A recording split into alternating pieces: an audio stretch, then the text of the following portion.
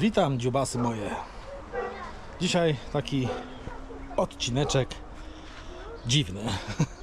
dziwny, bo po prostu nic się nie będzie działo. A mianowicie chcę sprawdzić jedną podstawową rzecz, której nie sprawdzałem po zakupie samochodu, a przejechałem tym samochodem już prawie 3000 km. Sprawdzimy, jak wygląda e, e, koło zapasowe. No, ale Marcin, temat, kurde, koło zapasowe już pokazywał. Nie, chcę zobaczyć koło zapasowe i chcę zobaczyć mocowanie tego koła pod samochodem. Tak, bo jak wiecie, w tej czwórce koło zapasowe jest tutaj z tyłu na takim e, wózku, można powiedzieć, opuszczanym. I sprawdzimy, jak to tam wygląda. Druga sprawa, prawy tylny migacz czasami przestaje mi działać. Poruszam tam kablami, zaczyna działać, więc sprawdzimy, co tam się dzieje. Partnerem dzisiejszego odcinka jest Letishop. Letishop to jest system cashbackowy, dzięki któremu odzyskujecie część kasy, którą wydaliście na zakupy w internecie. Allegro, AliExpress, Booking, RTV, AGD, MediaMarkt, gdziekolwiek kupujecie online, możecie odzyskać część pieniędzy. Działa to na bardzo prostej zasadzie, automatycznie. Rejestrujecie się, macie specjalną wtyczkę, którą możecie zainstalować do Waszej przeglądarki, która powiadomi Was o czekającym cashbacku prawym górnym rogu ona tak zaczyna Wam migać. Wtedy wiecie, że macie dostępny cashback. Wystarczy tylko kliknąć aktywuj i koniec. Wszystko dzieje się automatycznie. Kupujecie, prowizja wpada do Was do kieszeni, którą możecie bezpośrednio wypłacić sobie na swoje konto bankowe bez najmniejszego problemu. Jak to działa? Bardzo prosto. Letishop dostaje prowizję od sprzedaży, od przekierowania Was na daną stronę poprzez właśnie korzystanie z Letishop i dzieli się połową tej prowizji z Wami. Czyli to po prostu jest Wasz cashback, link do rejestracji oraz film prezentujący szerzej program Letishop znajdziecie w opisie tego filmu. Idę po klucze, bo ja już wiem, bez zaglądania, jaki tam jest klucz, a mianowicie tam jest klucz taki sam jak do kółu. Wózek jest przykręcony na dwie śruby yy, dziewiętnastki. Więc weźmiemy dziewiętnastkę. O tak. Hmm, na przydłużce, może będzie wygodniej. A stąd to wiem, że już miałem ponad 10 lat tę czwórkę i... Hmm, patrzcie. Patrzcie w jakim stanie.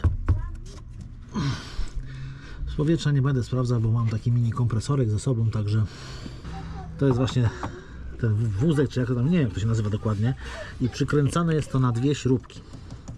Tutaj taka stała, która jest przykręcona na cały czas, to, to też, ale przy ściąganiu robimy tak, że odkręcamy tą całkowicie, a tą opuszczamy tylko delikatnie, jak widzicie tutaj jest otworek, wtedy to się opuści i przesuwamy cały wózek w tą stronę i na dół opuszczamy, a ta śruba zostanie. Jest to zrobione po to, że później wsadzamy koło, podnosimy, to po prostu wchodzimy na to, ta śrubka nam wchodzi w ten otworek, znaczy łepek tej śruby wchodzi w ten otwór, wsadzamy, przesuwamy i już nam wisi, nie musimy tego targać, nie? A teraz zobaczmy, czy te śruby się ruszą. Zaznaczę, samochód ma 27 lat. Zobaczcie, bo ludzie się boją. Boją się tego tutaj trzymać, że to te śruby się nie odkręcają, że jest problem. No to sprawdźmy. E, Weźmy tą. No, tak dobrze mówię, 19. Uwaga. O, patrzcie, bez względnej siły, no kręci się. Nawet, opatrzcie, ręką. Dobra, dokręcę to.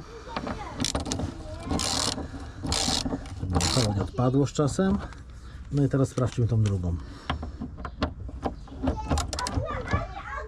No ta to w ogóle leciutko, zobaczcie. Patrzcie. No i tak sobie luzujecie to, tą odkręcacie, przesuwacie, mówię, ściąga. Także o, widzicie, śruby bez najmniejszego problemu kręcę tak nie za mocno, o, to nie odpadnie. Także widzicie, no łatwo się to bardzo odkręca. Słuchajcie, posiadając Multivana, ponad 10 lat miałem Multivana, raz, powtarzam, raz złapałem kapcia. Właściwie nie ja, tylko jak zwykle moja żona gdzieś wjechała i to tutaj blisko po prostu wjechała na parkingu na jakiś drut, gdzie drut wyszedł po prostu bokiem w nowej oponie, znaczy tak, w nowej.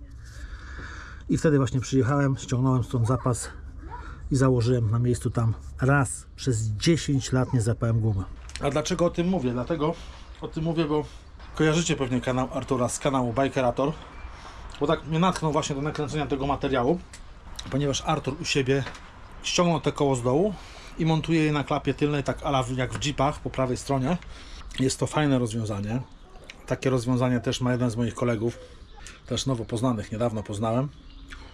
Też ma właśnie tę czwóreczkę krótką, synchro i też ma właśnie koło z tyłu tak pierdyknięte ala Jeep. Fajnie to wygląda, kozacko, ale jak dla mnie to jest niepotrzebna robota, ale oczywiście, nie, żeby nie było, nie neguję tego typu rozwiązań, bo one są fajne. Jak ktoś lubi, niech sobie zakłada. W ogóle Artur fajną drabinkę założył. Ta drabinka to jest w ogóle fajny patent, bo z jednego z ostatnich odcinków Artura właśnie on pokazywał, że można wejść i umyć mm, dach samochodu na przykład na myjni. To jest świetna sprawa, ponieważ ja wiecznie mam z tym problem.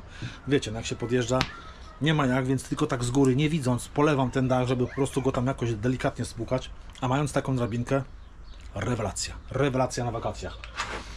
Także drabinka super, koło też super, ale to jak ktoś lubi, nie? bo nie ma takiej konieczności, żeby tego robić takie wiecie, na mus, bo coś tam się dzieje pod spodem. Tam pod spodem się nic nie dzieje, wszystko jest ok.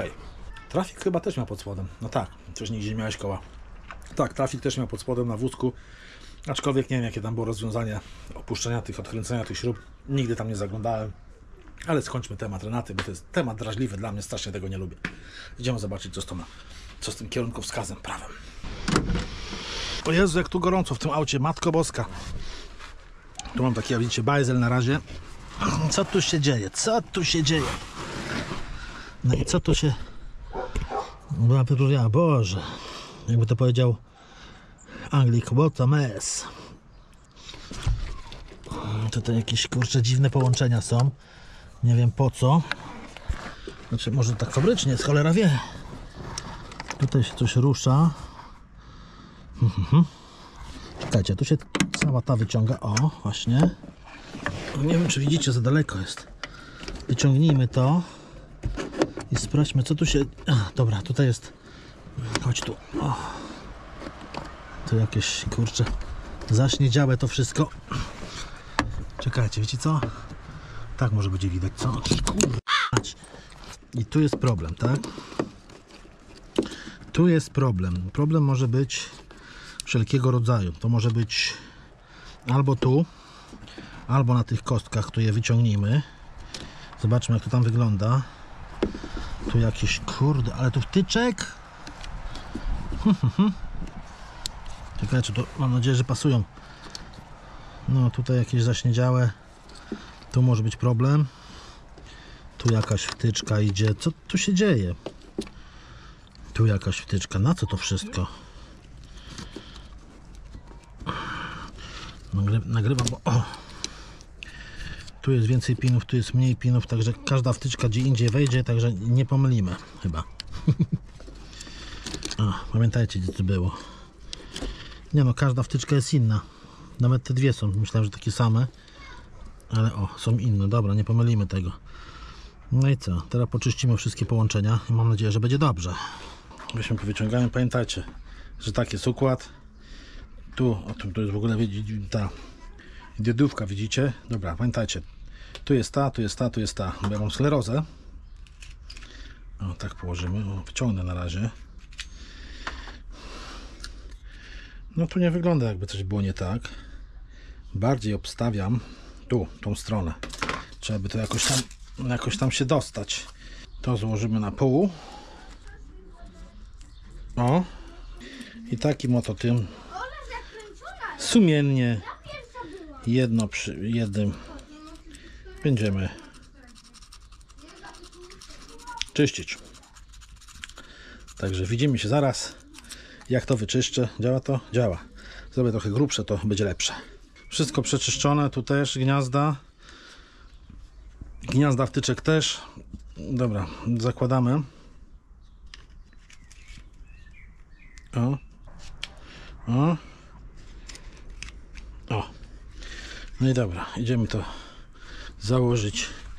Nie zawsze niekontaktowość jest tu i tu, a czasami na wtyczkach. Więc sobie, o Jezus, kochany. Dobra, załóżmy tutaj. Tu jakaś wtyczka, patrzcie, jest cholera wie do czego. Dobra, zakładamy wszystko jak było. Tak jak to było, Marcin? Ta na pewno tu. Cyk. Ta. Ta była tu. O tak. No. O. Cyk. Teraz tak. Ta mała była tu. Cyk. Marcin. Tak jest, a ta, ta była tu. No i ta była tu. Dobra, idziemy włączyć. Teraz czekajcie, zgaszę tutaj. I to ani awaryjne, wiecie, ani ten. Ani mryga, bo już słyszę, że jest dobrze. Bo jak jest źle, to mryga szybko. I wtedy od razu wiem, co jest grane. Teraz poruszajmy tymi tutaj kableronami, bo może tutaj się już przerwa. Ale widzę, że ruszam i nic się nie dzieje. Więc, więc prawdopodobnie było to spowodowane, tak jak mówię, niekontaktowalnością. Dobra, to nanizamy z powrotem. O, chyba. Świeci ładnie. Przeczyściłem wszystkie kontakty. O. I gra i bucz. No. Jest good. Teraz tylko po prostu, jak to się mówi, jeździć, obserwować. No i tyle w tym temacie dzisiejszym odcinku. A już w jednym z następnych zabierzemy się za montaż tego oto pojemniczka. To jest pojemniczek od Webaston. Tam jest drugi, tam jest trzeci. No mam tych pojemników trochę, ale założymy sobie ten. Eskę 15 litrów w samochodzie w środku. Ale to późniejsze dzieje. Widzimy się w następnych odsłonach. Trzymajcie się. Cześć!